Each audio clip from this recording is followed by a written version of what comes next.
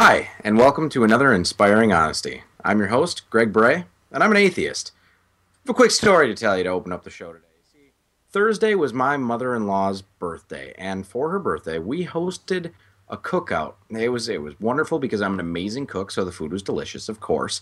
But on the way out, uh, we we watched a movie, settled down, relaxed, and on the way out, she sent me a text message asking for one final birthday gift. You see, there was a wreath out on the front of our house that we had forgotten about when taking down the rest of the Christmas decorations. And she sent a message saying, Hey, as an additional birthday present, can you take down that Christmas wreath that's still out there? And I'll tell you what, I got out there uh, right, uh, well, it was about, it was about sundown um, on Friday then. I, I got out there and I took it down. But lo and behold, that sucker was right back up there today. I don't know what happened. I uh, apparently you can't some or take something Christmas down on Good Friday.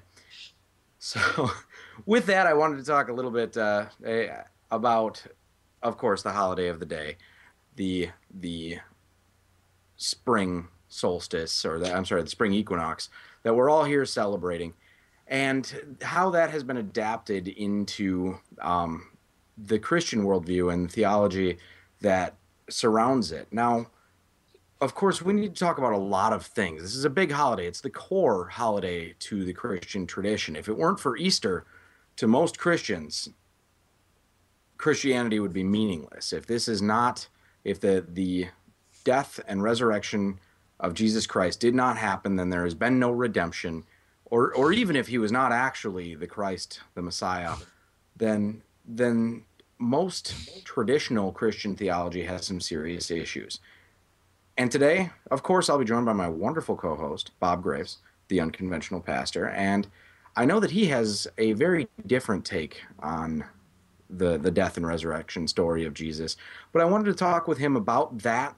And really, I, I have the pleasure this time of letting a Christian tear into that Christian theology. So I'm just going to sit back and, and watch for the most part and, and have a good time with this show today. So, happy Easter, everybody. Happy Egg Day, happy Zombie Jesus Day, whatever you'd like to call it. Remember, this is as much a secular holiday as it is a Christian holiday. And I had a great Easter brunch this morning. So I have no problem saying Happy Easter as much as I have no problem saying Merry Christmas. And with that, Bob, Happy Easter. Well, well, thank you. Happy Easter to you you know what? Thank I you. think it's just wonderful how you you gave that that testimony of how God was working in your life, demonstrating to you through the actual resurrection of a Christmas wreath, the the reality of Easter. That's amazing to me. no, what's funny is that it's a true story and everything except what actually happened.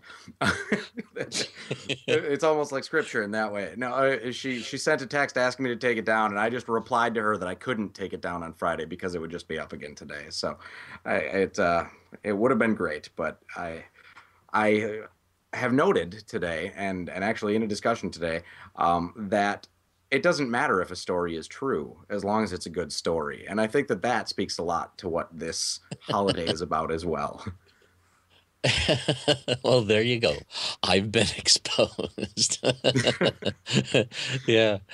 Uh, you, you know, I'll tell you, um, I'm sort of like uh, I, have. Uh, it may appear that I seem to have a foot in one world and a foot in the other, because uh, and, and, it's not that I I do. It's it's that um, there are aspects of the Easter story that I think are onto something that I would, as a theist, believe. But I do see a great deal about the story to be, um, you know, something that needs to be held uh, in question in various ways. Um, for one thing, I, I don't know that uh, Easter is really a holiday. Um, uh, I, I, don't know that it's something that. Uh, I mean, why should we be celebrating it every year? I, I, I, don't get that. I don't understand that. I don't see what the the value in it is um, to do that. Um, I, I think that what it tends to do, uh, to be honest with you, you know, to, to take a look at Christmas every year and take a look at Easter every year, I think this is part of what causes Christianity itself to be kind of lame, in that we really don't have to think about being um, honest to our faith day after day after day after day. We can simply focus on uh, what we think of as the reality of his arrival on one particular holiday, and on another holiday, think about the uh, the reality of uh, of this sacrifice that uh, that uh, that occurred and the way we think of it, and we can really kind of focus most of our attention around those aspects in those holidays. And we don't have to think about whether or not this is a practical part or a realistic part of our lives uh, day in and day out. And I think that in many ways, these, these Christian calendars are a way of, of I can un- understand and appreciate how, uh, you know, it's helpful to sometimes have some routines to keep oneself disciplined and and and and at work at things that are important but sometimes they can become such a rut that it's actually a way of avoiding issues until we finally get around to talking about it and then when we get around to talking about it we only talk about it in a traditional manner and for the most part it doesn't really make any difference in our lives and so you know i'm not i'm not a big fan of christmas or easter. In fact at our house we love christmas and I don't I can't remember the last time we even had a Christmas where we even talked about the birth of Jesus. Uh, mm-hmm. we we give gifts to each other. We we we enjoy the uh, the fact that everyone is talking about peace on earth and goodwill to men, and and uh, we enjoy the. Uh, uh, the, the festiveness of it, and we really do. And and I gotta be honest, it's not really to me anything significant in terms of my personal faith which I well, you know, I, I have to tell have. you, you're, you're ruining Christianity for me here a little bit. I mean, I, as an atheist, the biggest benefits that I get from Christianity are gifts on Christmas and Easter baskets with candy in them. So it's uh you know if you would like to do away with those things. Can we at least keep the secular side of it? Because uh, i mean a jolly oh, yeah, absolutely. no that, I, I, do celebrate uh, i celebrate uh, christmas as as a um, as a secular holiday. I do and i like it. I think it's wonderful. I'll tell you there was a time as a christian where i didn't understand the the robbing from pagans their holiday and trying to displace it with some kind of mocked up, made up regularity traditions of our own to, as a way of just trying to get those pagans to let go of their religions. And uh, and to me, that struck me as as having as much integrity as stealing this land from the Indians and calling it uh, freedom and democracy. But um, I so in my younger years, um, as as a Christian, I refused to have anything to do with Christmas. I didn't celebrate it at all in any manner. And finally, I fell in love with it as a wonderful holiday that had nothing to do with Christianity. And so, and I'm I'm kind of still that way. I, am just not well, as adamant about it. If other people want to turn it into what they think of as a regular holiday, I you know, they can do that. It doesn't bother me any, uh, but it's not meaningful to me as a as a Christian holiday at all but it's a wonderful time. Uh, we we love it. We we get lots of gifts, and we uh, we we make it a wonderful family time. Now, and frankly, it doesn't have much to do with the holiday itself. I mean, the the dates that we pick for these things are relatively are relatively arbitrary. And what I learned today that I did not know, I actually spent some time looking into exactly why Easter is celebrated in the random, you know, March 22nd through April 25th time frame that it is. And I learned that it has it's the now let, let me remember this because I'm I'm shooting off the top of my head here, but it's it's the first Sunday after a full moon after the spring equinox, I believe. Correct. Because it's however, it cannot coincide with Passover. Uh, if it were to coincide with Passover, then they bump it back. It goes to the following Sunday, which is which is odd because this is thought to have happened on a Passover in the first place. So exactly, exactly. If if anything, uh, it shouldn't be celebrated. Uh, now, the, one of the problems they had was that I think that Passover doesn't always occur on a Sunday, you know, or on a Friday, or on a well, of course, I think there's a lot of myth in in terms of the Passion Week and all that. Um, and and I'll be honest with you, I don't think it's all that important, but I think it's interesting to take a look at it. For example, you know, um, when, was Jesus speaking literally or figuratively when he said three days and three nights? I mean, because when you think about it, go from Friday to Sunday. There's no, there's no three days, three nights. It just doesn't work. Well, particularly after the equinox, we're talking less than 36 hours from sundown on Friday until sun up on yeah. Friday morning, and we don't even know what time because the tomb was already empty by the time the sun rose. On, right, on and the Bible it, nowhere it claims that Jesus rose on, on Sunday morning. Nowhere, it isn't there. That's just when they found the empty tomb. That's right. Yeah, um, and, and, that's one of uh, those uh, and, things that uh, I really wanted to focus on a little bit today. Is there is a, a fantastic quiz out there um, I know it, skepticmoney.com just ran it, but it's it's been out for more. I'm looking for the the name of the author right now. Um, David Fitzgerald. It is a a quiz about Easter, and it's it's wonderful. The questions are uh, simple and pretty straightforward. Things that people should be able to answer. You give hand somebody a Bible and say, "Hey, when when did Jesus get crucified?" Here's the Bible. Let me know. And and what's interesting is there's either at the third hour, 9 a.m. on a Friday, or the morning of Passover, or I'm sorry, on Friday, the morning of Passover, or um, shortly after the, the sixth hour, which would be noon uh, on Friday, the day before Passover, because Passover is not always on a Friday. Um, he didn't really get crucified, but his identical twin Thomas Didymus did, is one of the options that uh, has been believed by Christian tradition. Um, or he didn't really get crucified; he only appeared to be crucified. That's another one. Um, it's it, we can't we can't reconcile because all of these things have been part of Christian traditions, and specifically the the first two, whether it was on Friday of Passover or Friday the day before Passover, um, those are both actually right out of the Scripture, and they're they're completely incongruous. There's no way to to meld the two together. Either it was Passover that day or it wasn't. Um, there's so many more things. The things that happened: an earthquake hits Jerusalem, supernatural darkness covers the land, a sacred temple curtain spontaneously splits down the middle and rends itself to show the holy sea behind it, and and there's a mass resurrection. A zombie apocalypse goes on mm-hmm. um, within the streets of Jerusalem, of where all the, the Jewish know, men are I, breaking. I think I think that there's a there's one of the problems that we have is that a lot of the Christian tradition is based upon, you know, taking snippets from the text that are not necessarily entirely understood and trying to fill it in with a coherent story from front to back. Uh, based on those snippets. However, this tradition was developed at a time when the church was in a strong phase of anti Semitism. And as a result, they didn't really care about Jews. They didn't care about Jewish tradition. They didn't know a lot about Jewish tradition. They didn't want to know about Jewish tradition. And some of the things that they that they really remained ignorant of were things like this. A Jewish day actually begins at sundown. So that there's a sense in which, um, for example, uh, when does Sunday begin for a, a, a, for Jewish culture? It begins around six o'clock on Saturday night you know and so you got that problem. The other problem is that they didn't realize at that time is that the word sabbath was not just used for saturdays it was also used for any other particular holy day. And uh, it is thought by many people that the passover didn't actually occur on a saturday.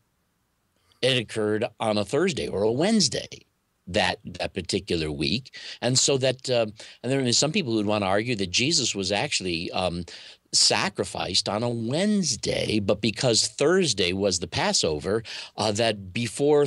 Thursday began, which would be you know around six o'clock at night, he was taken down from the cross and that uh, they couldn't get there to the uh, the uh, the grave the following day because it was a holy day, and then the following day they were concerned about somebody trying to move the stone, and so they had to go that day because the day following Friday was going to be another Sabbath. So there are two Sabbaths that week. And then they, so this is another reason why they couldn't get to the grave to try to prepare things until Sunday morning because of all these other problems that were rising. And I think that the early church didn't understand or appreciate some of these um, calendar type math problems. And they developed all these traditions and then have a need to defend them. Um, and uh, I'm not saying that therefore I've got it all figured out and I know what the answers are, how to put this all together, but I am saying that a great deal of confusion about what was going on and an attempt to explain it um, has has transpired so that by the time we're done, we're, we're, we end up really defending a bunch of stuff we just made up. Well, and it, what's interesting though is that there are things in there that are pretty concrete, such as um, there were women that went to the tomb, uh, mm. according to the story. But but then if you ask which women and or when they went there is also difficult. What they saw when they got there, how many people were there? It's I mean some of them were described as as young men, some of them were described as angels. I can see reconciling the two of those pretty easily, but one or two of them, that's a pretty difficult uh, conundrum there to try to put which story do we trust? The one that there was one guy there, or the one that there were two? Or it's well, just you know, trust is an interesting. The reason word. that I'm bringing all this um, up, though, is because it really brings up the issue of literalism, and doesn't and it? Doesn't it? This and also, thing. I think it ought to bring up another issue. In Jewish culture, when you're telling a story, how important is it that the details are accurate or that the details convey a gist of intent, meaning, and how to relate to it. In that culture, I don't think that those details were always that important. So if one version of the story had one person and one another version of the story had it had two people, I, from, from a Jewish standpoint, I don't know that anybody would say, oh, "Yeah," and you know, the the number of people wasn't the point you know? And so they don't see a problem with that. It's we westerners who want a story to contain accurate details because you see i want to be able to determine whether or not what you're saying to me is even really viable or not. Uh, you know so i think from one culture to another we don't know that that was even their care. And so although we see that as a contradiction we wouldn't do that in our literature. They had no problem doing stuff like that uh, well, and, and, but we do need to be honest in saying that it is a contradiction. Those I, texts that was been in important existence. to them or not. You know, is, uh, can you? Uh, um, I, you're breaking up on me, so I couldn't quite hear you. But how long have those texts been in existence? Do you think that the people who originally put those texts together were like, "Oops, we made a mistake. Over here we said this, but over here we said that." Uh oh, you know. No, they knew those things were there, and you don't see redactive attempts to correct it because it wasn't an issue. You know, that wasn't the point. There's a, like even like the testimony that Paul gives it when he's on the road to Damascus and he talks about, you know, he saw a great light, but he didn't hear a sound or, or this and that, or the, you know, it, it, there's some contradictions in the details here. I think that, you know, it, as Paul told the story, the, the point is he was startled by this and and and various different things to his sensory perception were going on and and the point is that he was you know the rug is ripped out from under him and that's his story. And he's not trying to tell you. Now, you see, the specific way in which the rug was ripped out from under me is that the first thing that happened this is not what he's doing you know and and so consequently uh, you know not in that but we have demonstrated psychologically that when people remember things from the past memory changes and so when we give an honest representation of something we remember from 20 years ago if we were to hear a recording of what we said about it 20 years ago, there would be a ton of details that are different. What does that prove? Nothing. It, well, it proves that we cannot rely entirely on our memory to know what actually happened. And that's, that's whether that's important or not. And I even say it proves that we cannot rely on the text to know exactly what happened. Right. Well, because somebody's going to interpret it at the time. I mean, the text is, of course, yeah. through the eyes of the beholder. This is, I think, we've talked a little bit about this in the past. That if I were to actually murder somebody, I'd be asking for a jury trial um, because it's pretty easy to sway jurors that are not making their opinions based on evidence, as compared to a judge. Whereas if I didn't do it, there is no way I'm going to let an emotionally biased juror or jury make this decision because they're going to take into account eyewitness testimony as the most damning kind of evidence that well somebody saw him do it. And it has been shown time and time again that eyewitness testimony is the worst kind of evidence. Yes. Sure. It is the most sure. unreliable. So eh, i mean yeah. that's and, and, this and is you know eyewitness testimony. This is not I, even to be honest with testimony. you I really don't think that eyewitness testimony is unreliable. I just don't think it's reliable for what we think it's reliable for. It's reliable for something else. And that is the thing we don't want to do. Same thing with emotions. People think that emotions are inept reality detectors. Emotions are a reflection of your previous summaries of perception. And as a result, you know, it's only as good as your, your previous assumptions of, of perception. And so you're you're there's a sense in which you can rely entirely on your emotions. You just can't always rely on your perceptions, but your emotions are going to be an accurate representation of your perceptions. And so, you know, when we when we miscategorize and and try to give credibility to something as if it possessed a certain kind of credibility when it really possesses an entirely different kind of credibility, and this is true, I think, of eye eyewitnesses. Uh, when people give you an eyewitness, they are telling you how they experienced the event. And that may or They're may not have anything to do with what gaps, though. I actually mean, we really happened. be we need to be cognizant of the fact that eyewitness testimony is a, a practice of interviewing somebody and asking them questions about an event. Now, this is not just a person whimsically recalling an event, which which is unreliable to to a large extent if you're looking for it as a, a factual play by play of exactly what happened. But it, it may be even more accurate because it's less likely for somebody to feel a need for the story to be perfectly contiguous and therefore Mhm. make stuff up to fill in the gaps. Uh, It's something Right. that humans are really good at recognizing when something's not adding up and making minor adjustments to make it work as we go without even realizing that we're doing it. Uh, yeah, So I would argue that all questions in a courtroom are leading questions. Uh, it's just that some are far more obviously leading than others. Uh, yeah, Yeah, I, I would absolutely agree on that one. And I, I guess the reason I wanted to focus on on the story there and specifically the contradictions and and what can and cannot be taken away from this um, is just because so much weight is put on the literal understanding of the passion of the resurrection and of every, the events that actually happened that day as if this is a historical account. I will Mhm. make the assertion now, as I've always made it before this is mythology. That does not mean that it cannot contain any kernels of truth or even profound truths of a different nature than historical. But mythology is, it has a definition eh, as far as the, um, the category is concerned from uh, literature studies. And that is what this story is. There's nothing else that we can call it that, that gives it well, you know, even without regard to how we how we might want to, you know, how what words we might want to use to describe it, the the very fact, uh, you know, any real event, particularly a, a, an event, uh, let's just for the sake of argument, uh, let's pretend just for the sake of argument that Jesus did rise from the dead. I can't imagine how that could actually happen without being somewhat of a discombobulating um, experience for those who who confront that which appears to be the the evidence of it. And and i would expect that these people would in such a discombobulated state not be able to think clearly or even recall clearly. And so uh, even uh, now i am a person who would accept the reality of that resurrection but i don't accept the testimony of it as necessarily being the reflected testimony of people who were completely in charge of all of their faculties in making sense of this absurd contradiction of expectation.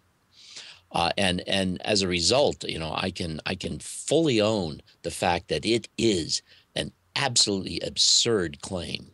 It it it defies um, uh, appropriate expectation. So I, I guess I'm confused. I thought that you were of the the opinion that the resurrection was a historical event. I am. I am. I, I, I believe the, the, resurrection really happened. I just don't believe that the testimony concerning it is, is a reliable testimony in terms of its details and its accuracy. I think rather what it is is it's the the outworking of the discombobulated minds of the people who were just uh, set aback by the, uh, the, the the oddity of it, the strangeness of it. I mean, you know, they lost Jesus, the person they really thought was going to somehow maybe get rid of Rome or maybe do this or maybe do that. I don't think they had a clear understanding what he was going to do. And then he gets murdered. He's taken away, and they're thinking like, well, what are we doing now? And then and, and then then he shows up as it were and and they're thinking i mean they don't know what's up what's down whether to go this way that way what's going on here? They've got to be in deep confusion and and in such a state of mind i don't see how it's possible that the way they relate to it later can possibly be that which is an accurate representation of what happened in what order and just how it's sequenced. I, I it can't be. I mean you know um, I, when I've talked to other people who have seen unusual events, th- their their rendering of it, even if you can later verify that something really unusual happened, or, or that you know, I mean, maybe somebody has, for example, if they if they were a witness to a horrific crime, uh, many times, the state of mind that they're in when they're when they're actually witnessing something that's so horrific is one that actually disturbs the clarity of their thinking. This doesn't mean that aha, we found some contradictions in what they are saying that that the horrific event never took place. But I think it is to say that when when people experience certain events that that may be just totally um, outrageous in terms of their logic, I don't think it's um, it's almost uh, it's it's as unbelievable that they could recall it with clarity as it is unbelievable that the event took place itself. Well, that's assuming though that they don't have any sort of divine influence in in adjusting their memory. That's the argument being made here for inspired scripture is that it's not just that this convenient? person's memory that's coming, but it's actually the the the Holy Spirit speaking through these people. So you well, think that of, yeah, a, you know, although the Bible does talk about how and when Jesus was is quoted as saying the Holy Spirit will bring back to your memory uh, the things that I had said. Uh, Jesus may have said that. But you know, just because he said the Holy Spirit will bring back to your memory the things that were said doesn't mean that they would necessarily understand it or that they'd be able to make sense of it. Just recall it. And and and and I think that we they take that and then take this huge jump that I believe exists for no other reason than to try to make my faith and the way I understand it somehow authoritative in a way where I can just put your version down. And to me that that's like cheating at arm wrestling. You know, I, I it it you know it it just doesn't work for me. And and I think that it's a misuse of the text and what it was that, that, that Jesus said. Uh, when it comes down to it, we are on our own. And we need to be on our own, or we can't be honest when we're seeking to make sense of things. Now, there may be things we find ourselves confronted with having to make sense of that we don't generate ourselves, but still we are still left to ourselves to make sense of the events that we are perceiving. And so, you know, I I think that Christians uh, some mean well, but I think some are absolutely lying, and uh, deliberately so, in trying to create an authoritative version of the story and of the gospel that is somehow based on some authoritative revelation from God, and uh, and and I think they're just making stuff up or stretching the truth or wanting to be able to stretch it or gullibly believing when they've been preached to that this is what you can do, that they can do this, but or one way or another. But I'll tell you this, you know, I've looked at the text. I don't see the text as giving me any such permission to do that. You know, I have certain opinions about what I understand and believe. And you know what? They're my opinions. I can't rely on any authority from God to try to make you feel like you should uh, take anything that I say as having any um, compelling evidence that somehow requires of you anything. You know, I, I that that's personally how I see it.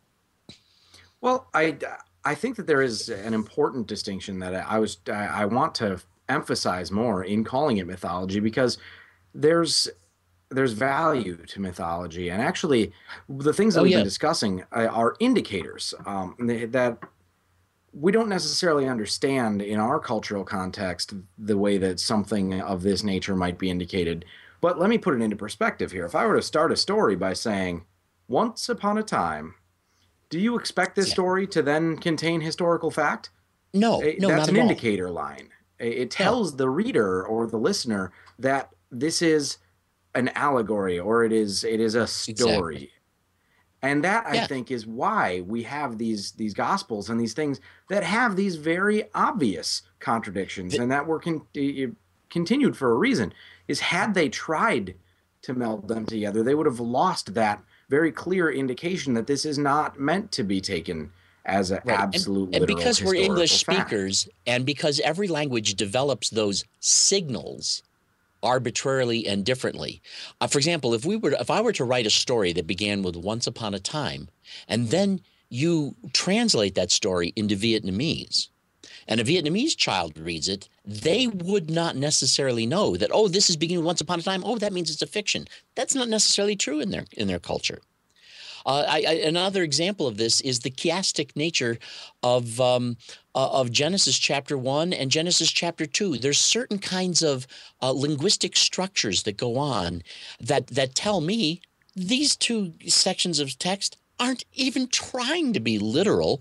The, the, the nature of the structure of Genesis chapter 1 involves a great number of parallelisms and triads, whereas the, the creation story in Genesis chapter 2 is very much focused on distinctions and contrasts. And I see them as both being very different myths that aren't even consistent in terms of the order of what came. Was it man, then animals, and then Eve, and whatever? You know, I, and, and I don't think that the people who put that text together were saying, oh, oops, we, we, we overlooked a problem here. You know, we, we, we, we gave a slightly different story. And, and, and I, no, each of them had their own linguistic structural uh, analogous purpose, and they were given for what they perceived that purpose to be.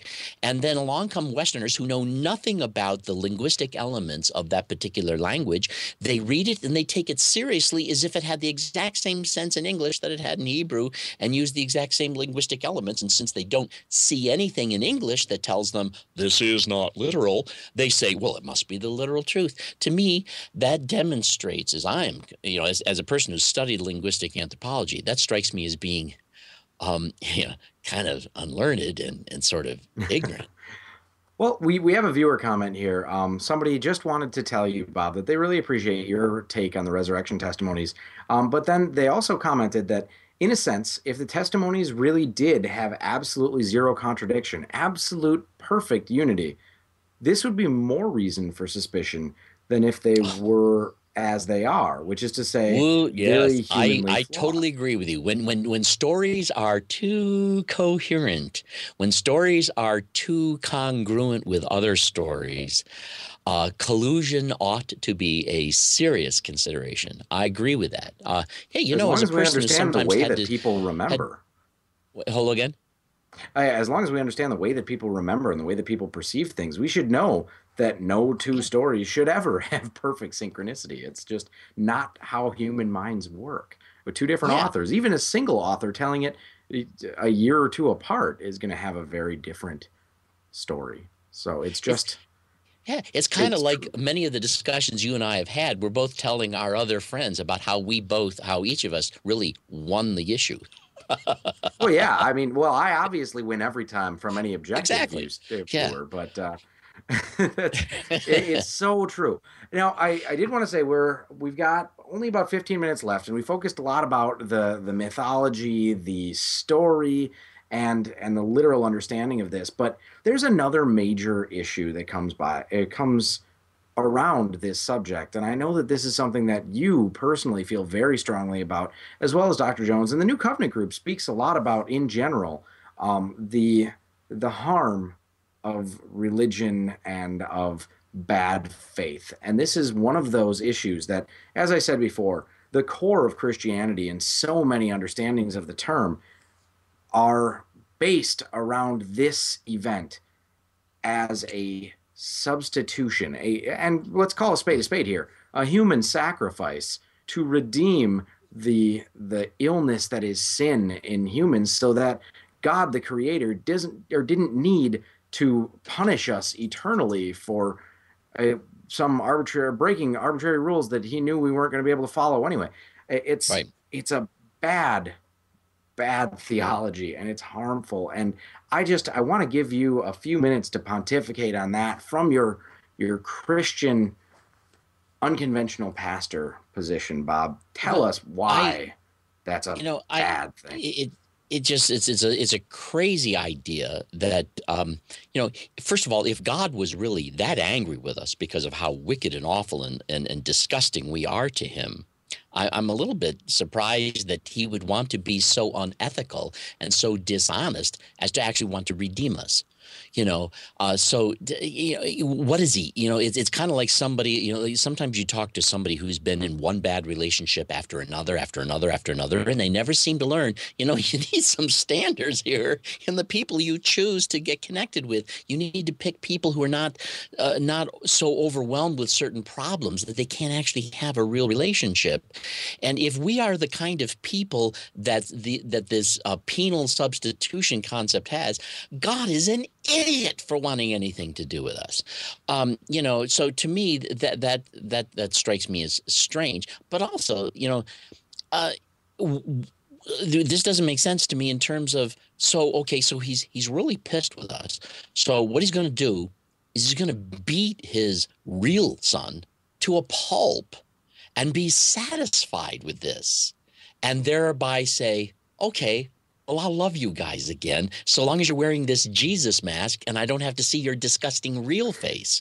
You know, to me, that's a sick God. That's and he's playing a game of bait and switch and, and pretend that, that that lacks honesty. So, you know, to me, that, that that whole concept just doesn't doesn't work just from a logical standpoint. Let alone what you know, people say, well, that's what it seems to be saying to me, and so you know, I believe it well, you're gullible. You know, I, I don't understand that kind of um, blind reading. Um, you know, I, I perceive Jesus as someone who was was murdered, and the primary reason he was murdered was because he was willing to become the victim of a conspiracy and a murder uh, because he had a message of his presence to be among us that was going to upset the apple cart and contradict the traditionalists. And I'll tell you what, if you see a picture of Jesus all beaten and carrying the cross, you're seeing a picture of just what we do to people who dare contradict our traditions. That's what we do to them. And Jesus accepted that. Uh, as you know, if you're going to treat me for evil, but I think as God, he knew he could come back and so there's a sense in which, although it was a horrible thing to go through, he could come back. And I perceive the resurrection as Jesus saying, See, even if you decide you need to murder me, nothing is ever going to make me stop loving you. That's not the way I, that's not me. That's not what I do. I'm going to just continue on. And I think that he then disappears because he realizes this isn't going to work by having this constant physical, realistic confrontation. People need to come to these realities from within. And I think it's the presence and the indwelling of Christ that makes this different. This is how I would understand it. So that we need to kind of get beyond ourselves, get beyond the religiosity of it. And to me, this is where the power of the resurrection and the power of the cross comes in, not in some sort of penal concept, but Jesus willing to play the game of this religious structure and to kind of turn it on its ear. And so, you know, that's that's how I see it.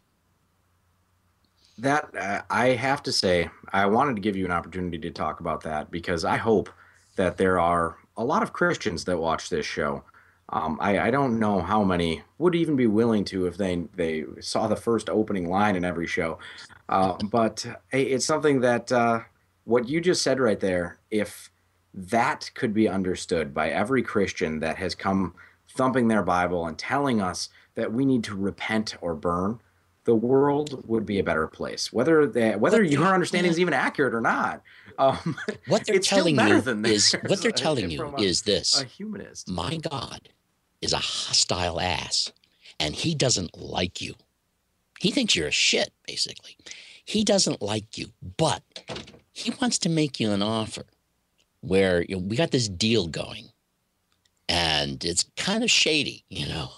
But well, act now before we're going to kind of switch. Uh, to me, that the message itself is is begging people to come to a God who says, "I can make you successful by being totally dishonest about who you are, what you are, and what I think about you, and what your value really is as a person." Well, let me give it or take a few minutes now to give the the atheist perspective on this one. Sure. Um, because I, I think that the nuance of the two of them will help to come together. One, as I said, I, I do not believe this story is literal fact in any way. I, I don't know if there really was a person named named Jesus at the time.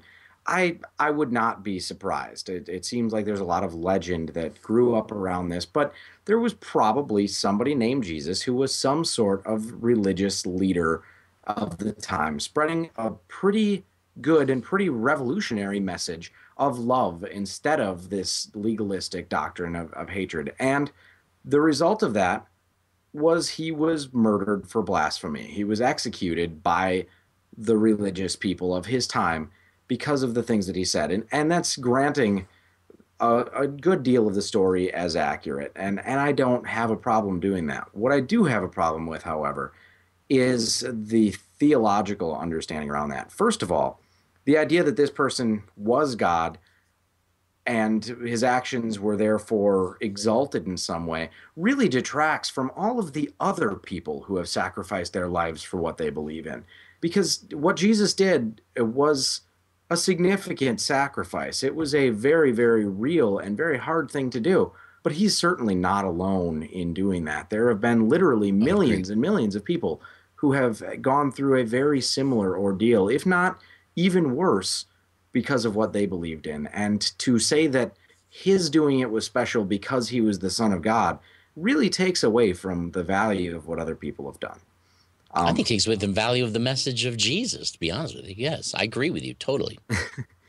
I, I, also think that the idea that this was a monumental sacrifice for God to do, to send his son down to be to be tortured and sacrificed, and then uh, to die is silly when coupled with the idea of a resurrection within 36 hours. Because it, realistically, yes, the suffering was ugly and it sucked, but but Jesus hardly died in the way that my grandparents are dead. It's he was gone for a couple days, then he came back and chummed it up with his buddies. So uh, that that seems like it really is taking away from the gravity of a death. And if God really really needed to understand uh, empathetically the sacrifice of a parent losing their child, then exalting your son up to sit at your right hand within uh, days of this or months or years according uh, well i think it's 40 days was the longest span or just a very long time it's they, they, there's another one of those contradictions but that really it doesn't seem like that's that's bringing a very strong sacrifice to god or or a very strong empathy to god in that respect. So that's another thing that I find very. I would agree, I, I would agree with your assessment in that. In that, I, I, I think that the the the sense of the sacrifice being made is actually nothing more than a temporary um, uh, consideration. Uh, but then in the long run, you realize, oh well, wait a minute. I guess that, this really isn't that. But you know, the truth is, when you're going through it, how did those disciples know? You know, he, he was brutally murdered. He's gone uh, it turns out he's not, you know. And so therefore the truth the truth is the death wasn't uh, the the death wasn't the same as the death of your grandfather. In that sense, it wasn't really at all. But then again, you know, during that those few days, they didn't know that. That's true. The observers there didn't know it, but God did, and yeah. Jesus did.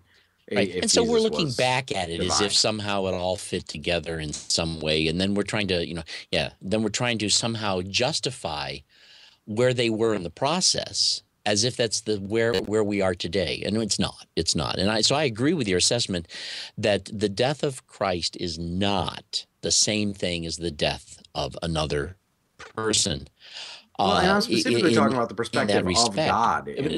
let's let's let's put it this way. Let's not minimize the fact that um, I mean I have never died uh, you know, I've had an NDE, of course, but I, but I've, you know, I've never gone through the the horrific um, violence of being murdered. I can't imagine that that would be a wonderful experience for anybody, without regard to uh, their ability to kind of uh, spring back up, magical. Right. Well, I, am bingo not presto. Whatever. Talking about Jesus but, in this respect, I'm uh, talking about God. Uh, from yeah. the perspective of God, sending His Son down, yes, to go through a horrible ordeal, but to know that within uh, relative time, you know, when we're talking about an eternal God, within less than the blink of an eye, his son's going to be back up there and healthy and happy and sitting right next to him and, and having a great time again. I, I yeah. think that honestly, it, the separation of sending him to earth for the 33 years he was alive would be harder for God than letting him die so he could come back up and hang out with him again. I, this is very anthropomorphic in that respect, but so is the Bible. So I'm okay with that rendition yeah. of the story. And and really I just I find that to be a silly silly understanding of it is that this was such a sacrifice for God. I think I talked about that when I I read I don't have the book handy, but there's a, a new Catholic handbook that uh, I think it's right here actually. But my wife, there was um, nothing at risk. There was church. nothing at risk from God's standpoint at all. Exactly. Nothing. Yeah, and that's there was there was truly no no sacrifice in the same way that a human understands sacrifice from God. Yeah. It just was. When, when I sacrifice something, it's experience. just gone and it's gone, and I'm ne- it's never coming back. Right, and and that I think is an important message. And of course, the final one is that of the um, penal substitution. And the, the idea that I, and let's be frank again this is a brutal murder a torture and and very very obsessed with blood um, in in a lot of ways.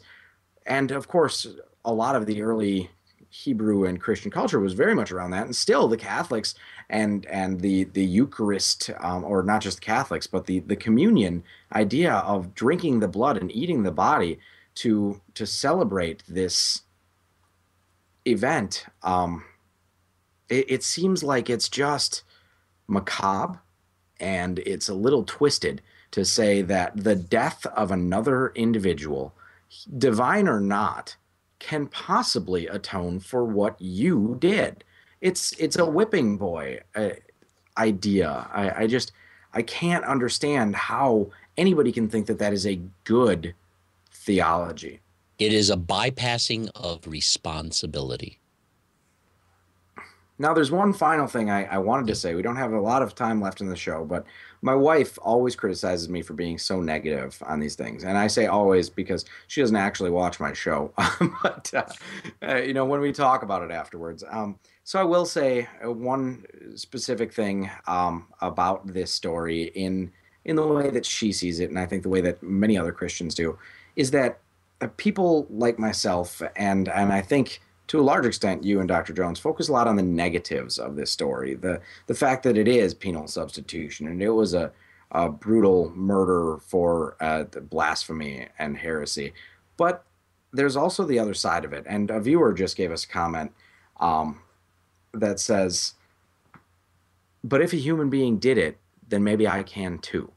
And that I think is what this this Easter story really brings to light in most of the minds of the minds of most Christians who believe it. It's not about the passion, however much they have their children participate in passion plays. It's about the resurrection, and it's about the hope mm-hmm. that that brings mm-hmm. to them, mm-hmm. and the eternal life that that it is possibly granting to them. So we can't discount that respect uh, or, or that that part of it. And I can understand building an entire theology around a resurrection and a hope of eternal life, and this being um, a very manifest understanding of that, but or a manifest uh, example of that. But well, I think you just passed your ordination inquiry. I'm sorry, I missed that. I, I said you just passed successfully your ordination inquiry. All right, so the marriage that I performed is okay now. I think so. Uh,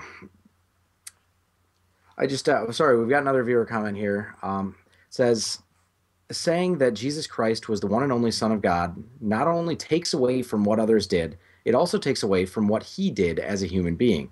After all, how could I achieve such heights of love when I'm not the one, or when I'm not the one and only Son of God? Um, that I think is a, a good comment as well, anonymous viewer. Uh, that uh, you're absolutely right. There's there's something in saying that Jesus. I mean, the the dichotomy that people throw out there of saying Jesus was fully human and fully God is impossible to be both because a full human is not fully God. and we don't right. understand well, you know, things I'll, in the way that a, well, a go, divine I'm sorry. Go ahead, would. finish. What Fisher um, saying. So, I, I, guess my my final uh, point on that one is that I think that that is a a marvelous way to understand the the problem with that way of thinking is that you're right. If Jesus is both fully human or was both fully human and fully God, then Jesus was not fully human, and you cannot ever aspire to understand things in the way Jesus did, to feel things in the way Jesus well, did, and it really I, takes away from in a lot sense, I would agree example. with you that it, there's a sense also in which I'd say we're not just fully human either, because you see, I, I really think that the, the that what we have, uh, to me, what's central in the Christian faith, what as I understand is central to the Christian faith, is that we are in union from a spiritual, inarticulate level that is beyond the material world, our essence of who it is we are as beings uh, uh, uh, uh, apart from our bodies. We are in union with Christ, and that union is one that will never end. So that although our current condition and state is one that is very precarious, uh, our essence is not. And we, like Christ, have that exact same nature. That's how I see it.